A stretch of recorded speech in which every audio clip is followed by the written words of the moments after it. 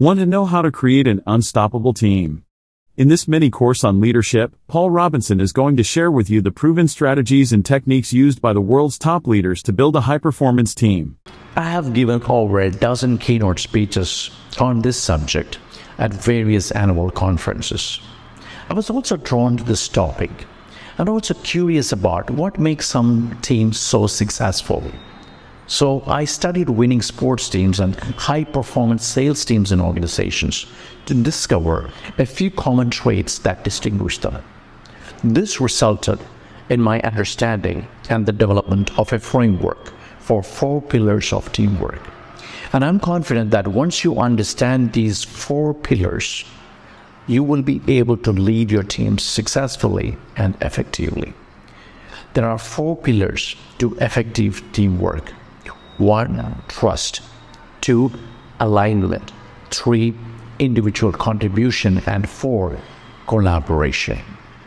Both trust and alignment determines the health of the organization and individual contribution and collaboration determine the performance of the team. In order to perform well, a team must be healthy, just like any athlete who participates in any competition. When you're healthy, you can perform better. Now, let's delve deeper and learn each of these pillars of high performance team. Trust. Establishing trust is a key component to building what is now called as a psychological safety in teams. Effective leaders build a climate of trust and facilitate relationships between team members. Trust means you keep your word. Trust means loyalty. Trust means integrity. Trust means discretion. Trust means the capacity to expose one's own vulnerabilities in an atmosphere where the vulnerabilities will be complemented by each other's strength. So, when team members trust each other, there is an uncommon bonding and collaboration that takes place. Trust is variable and measurable. Teams can have low trust and high trust. High trust teams are agile. They get things done faster. And it's called the speed of trust. The Speed of Trust is a wonderful book by Stephen M. R. Covey on the execution discipline. According to the book and his research, good team communication is an outcome of high trust rather than a tactic or a skill. There is no communication barrier in a highly trusted environment because people can speak their mind. Nobody is judged and everyone's opinion is respected. Trust is confidence in others. Trust is confidence in others' ability, and mistrust is suspicion. When trust goes down, speed goes down. Have you ever had an experience of working with someone and you don't trust them? How fast do you think can get things done with this person? I bet you can't even communicate with them effectively, let alone getting things done with them. That is because mistrust leads to delay. It is difficult to execute anything faster when trust is low among teams. Trust is not only about whom you trust, but also who trusts you. Trustworthiness means how dependable you are. When every member is dependable, the trust score increases for the team. Higher the trust score, the better the outcome for the team, and faster the execution. Leaders build trustworthy teams. Here, trust goes in three ways. The leader trusts everyone, and everyone trusts the leader, and everyone else trusts each other. For this, the, the first criteria is that the leader must be worthy of everyone's trust.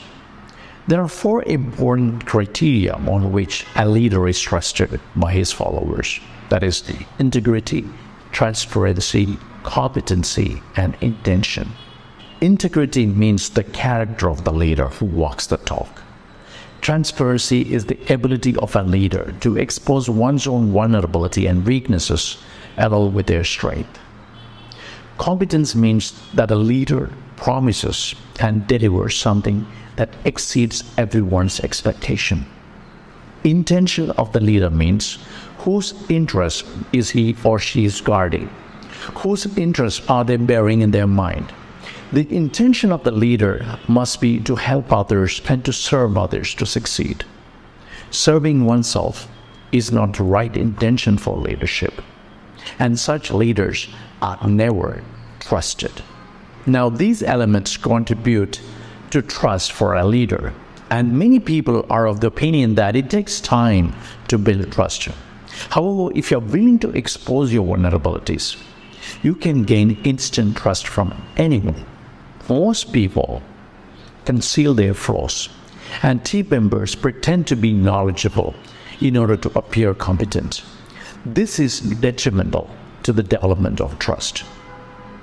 People in a trusted environment act transparently and have the courage to speak openly about their vulnerabilities and weaknesses because they believe collectively that their weaknesses are balanced and complemented by the strength of others on the team. Trust is defined as the willingness to accept vulnerability in exchange for positive expectations about the behavior of another. In teamwork, I repeat, trust is defined as the willingness to accept vulnerability in exchange for the positive expectations about the behavior of another according to Kouzes and Posner in their book, The Leadership Challenge. Building trust is a process that begins when one party is willing to risk being the first to open up, being the first to show vulnerability, and being the first to let go of control. Trusted environment has the psychological safety that everyone can rely upon mistakes are taken as learning experiences. There is mutual accountability, a deep sense of commitment, and if failures are encouraged and initiatives are applauded. Teams that trust each other stands for each other. There's a free flow of information, and everyone can be reached at any point. There is a strong interdependence that acts as a support system for all. And this is why trust is a strong pillar of great teams. The second pillar is alignment. Alignment. Alignment is the spirit of unity and synchronization of energy within the team to achieve a common goal. You can observe synchronized movements of birds flying in formation in the sky or a group of fish in the ocean or a military on a parade. These are the signs of alignment in the physical sense. In the psychological sense, alignment is about being on the same page, like a choreographed performance. Teams are aligned to the common goals and values. Where there is alignment, there is agreement and commitment politics is ignored and impact and outcome is emphasized. The opposite of alignment is chaos and dysfunction within a team. Misunderstandings are common when people from different backgrounds, people with different ideas and viewpoints work together. But leaders step up to resolve differences and conflicts, to get everyone on the same page. Leaders listen observe, and fill the communication gap. They bridge the gaps between people, and leaders align people with their vision. A vision is a primary factor for alignment. And when articulated vision and purpose is very important for alignment. Often, vision needs to be over communicated to achieve alignment until there is a commitment from everyone in the team to achieve that vision together. Leaders need to reassert the fundamentals. The fundamentals are reiterated so that no one will abandon the basics that got them successful in the first place. Value system is reinforced on every step of the way, including the respect towards others, respect towards founders of the organization. Consider alignment to be similar to having your car's wheels adjusted so that everything pushes in the same direction. Each action you take must explicitly consider whether you will help you get to into alignment or push you out of alignment. A leader's job is to ensure that everyone of the team is on the same page and drawing on the same direction. When there is a lack of alignment, there is no collective buy-in. There will be chaos, confusion, differences, and conflicts. Leaders must watch out for these symptoms and resolve differences and internal conflicts within the team. Whenever there is a conflict among the team members, the leader must bring them together and force them to work it out one on one. There is no gunny sacking or no hidden agenda here. Everyone is encouraged to be straightforward and honest about their feelings and frustrations. The leader's job is to value human emotions and direct them in the right direction so that the team can achieve amazing things together and victory is shared by everyone. The third strong pillar of a high performance team is individual contribution. Individual contribution. Often people say there is no I in a team. But the truth of the matter is that uh, you need different individuals to make the team. Each individual matters. One weak link can break the team. Everybody matters to a team.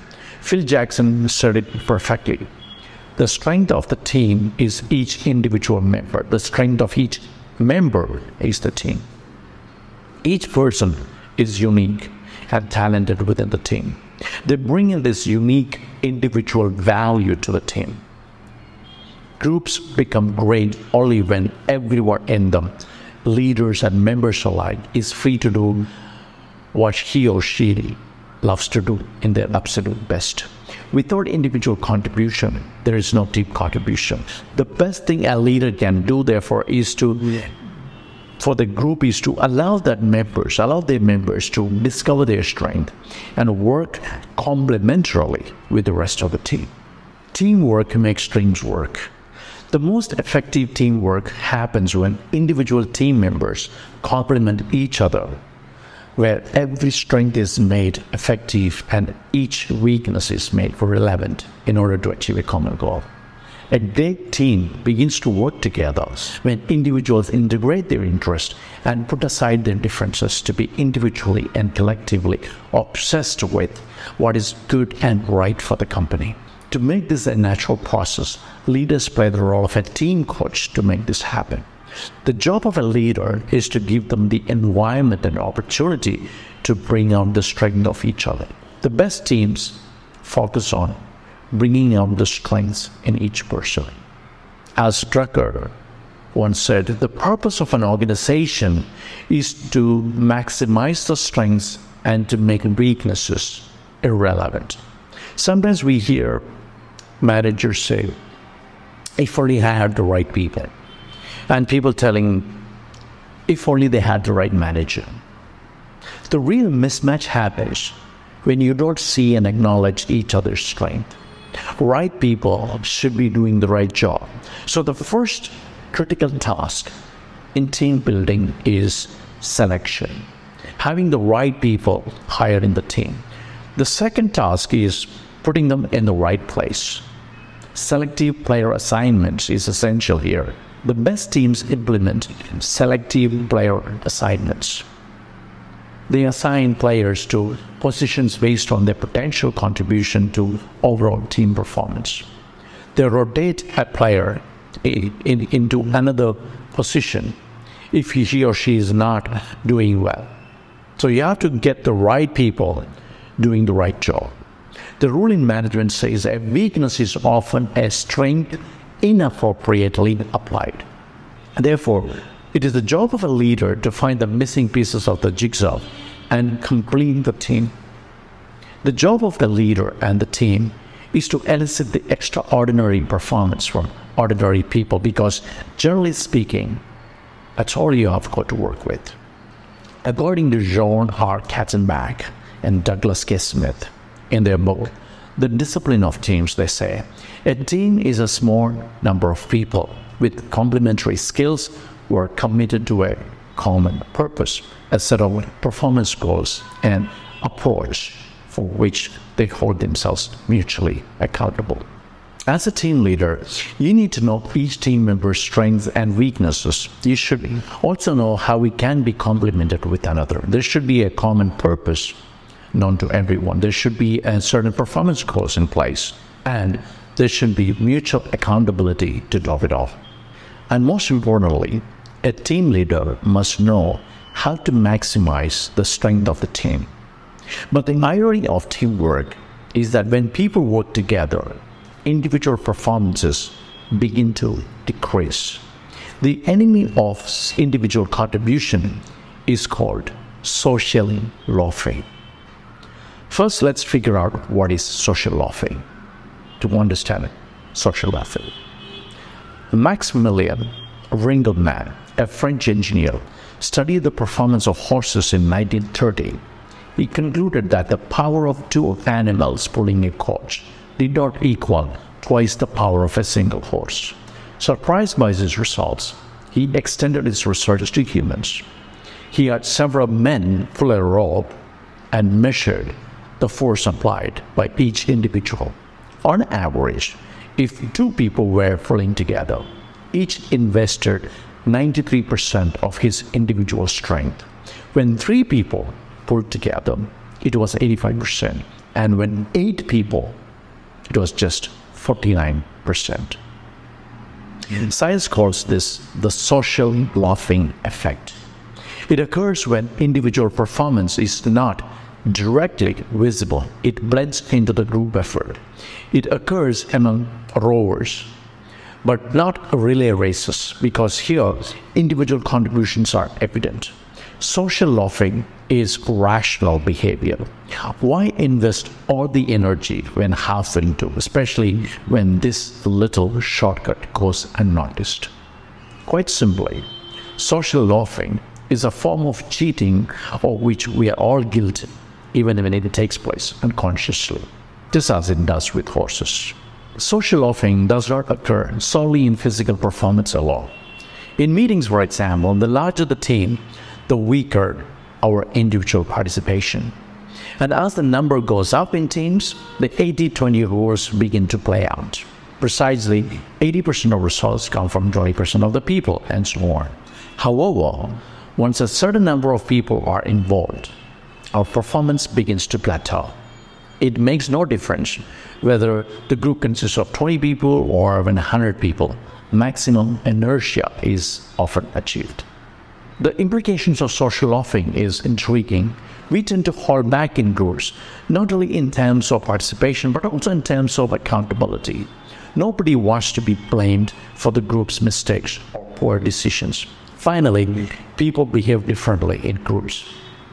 But when they are alone, the behavior is different. That's why it is also called the group behavior. So, how do we tackle this problem? individual performance can be made as visible as possible to mitigate this disadvantages of coercion. The solution is simple. When each member's work is visible to the group and acknowledged, there will be less chances of social loafing. As leaders, don't give your team members an opportunity for social loafing. Let each effort of each person count. When things are countable, you make others accountable. Let there be many, many talents at play in synchronicity. Let your team members play just not what they are told to do, but the best they can. Let them bring out their talent and strengths to work. Let people shine. Let them not just do what they are told to do. Let them also bring in the best that they are capable of doing. Another key ingredient in individual contribution is the perspective power that each team members can contribute. Diversity of ideas and viewpoints can fuel better conversations, ideas, and innovations.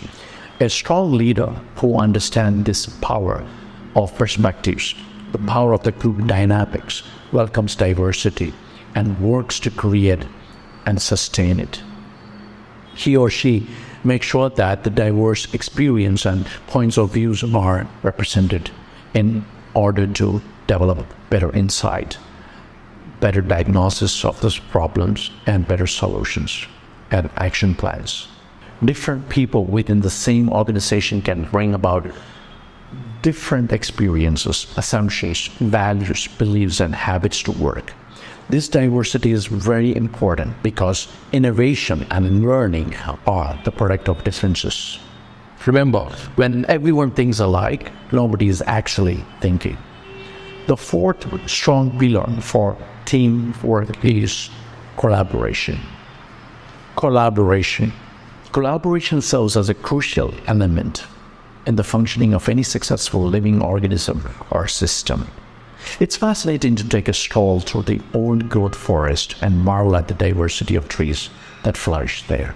Douglas fir, white pine, aspen, red maple, and all, all they are standing tall and majestic, each seemingly vying for their own share of sunlight and space.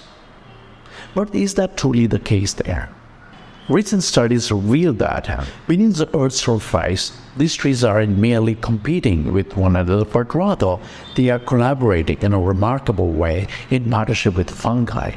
Diverse tree species are connected to underground mycorrhizae networks where they share vital resources such as carbon, water, phosphorus, and nitrogen. This symbiotic relationship helps them to maximize the growth of the forest as a whole. This incredible discovery sheds light on the perplexing phenomenon observed in our forests.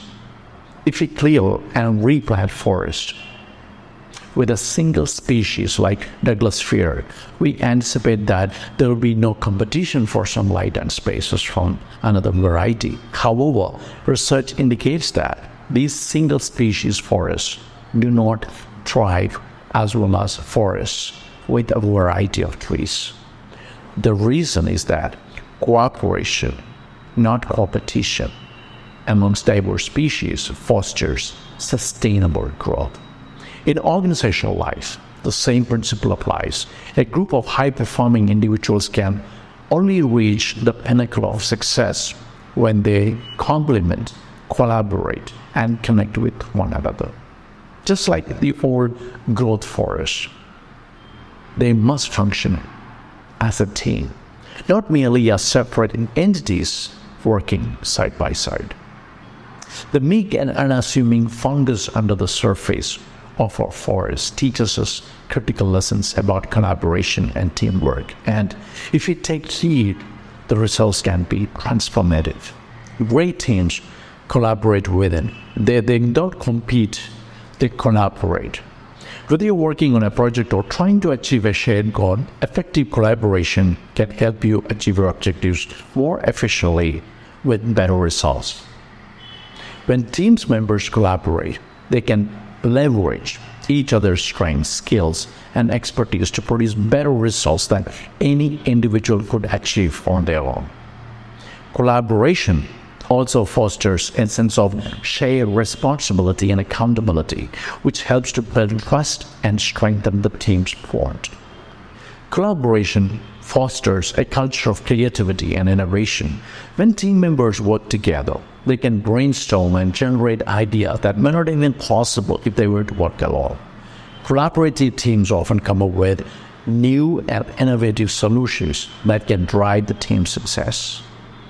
Collaboration can increase the team's efficiency and productivity by reducing the duplication of efforts or avoiding errors and streamlining processes. When team members work together, they can identify areas of overlap, eliminate unnecessary steps, and optimize workforce to achieve better results with less effort. Collaboration provides opportunities for team members to learn from each other, share knowledge and expertise, and grow together. Collaborative teams often have a culture of continuous improvement where team members are encouraged to learn new skills, improve processes, and try new approaches to problem solving. Sometimes people misunderstand collaboration for cooperation. There's a huge difference between cooperation and collaboration. You can cooperate with someone without adding value. Just being a silent spectator can be a sign of cooperation. But when you collaborate, you are actively contributing and adding value to the team. To collaborate, you need to know your roles and responsibilities and what value are you bringing to the team. You should be clear about the goals of the team and your role in achieving them. Additionally, you should be communicating with your team members about what you need from them to perform your roles effectively. Effective communication is essential for successful collaboration. You should be clear and concise when communicating with your team members, ensuring that everyone understands their goals, expectations, and deadlines. It's also important to listen actively to others' perspectives and feedbacks and to provide your own constructive input to the team. Feedback is an essential component of effective collaboration. So be open to receiving feedback from your team members and use it to improve your work. Stay flexible Collaboration requires a degree of flexibility. Be willing to adjust to the approach to work with others and find solutions that benefit the team as a whole. Be open to compromises and be willing to make adjustments to your work style or deadlines to accommodate your team's needs. And most importantly, use technology to your advantage. Nowadays, most teams collaborate remotely. Therefore, in today's digital age, technology plays a significant role in collaboration. So make use of all that communication and collaborative tools such as email or instant messaging and video conferencing. This will allow you to stay connected with your team members, regardless of their location. Effective collaboration can be challenging, but it's a skill that can be developed with practice. Remember that effective collaboration requires efforts from everyone on the team. So be patient, be flexible, and be supportive of your colleagues. With the right attitude and approach, your team can achieve great results through collaboration. So the job of a leader is to make sure that there is collaboration taking place within the team. There is no social loafing everyone is contributing and outcome is generated as a shared responsibility rather than burdening few individuals in the team. Now we know the four big pillars of teamwork. Trust, alignment, individual contribution, and collaboration. Great teamwork is built on the foundation of strong pillars that support the team's success. These pillars provide the teams with structure, stability, and direction, helping them to achieve their goals and deliver high quality results.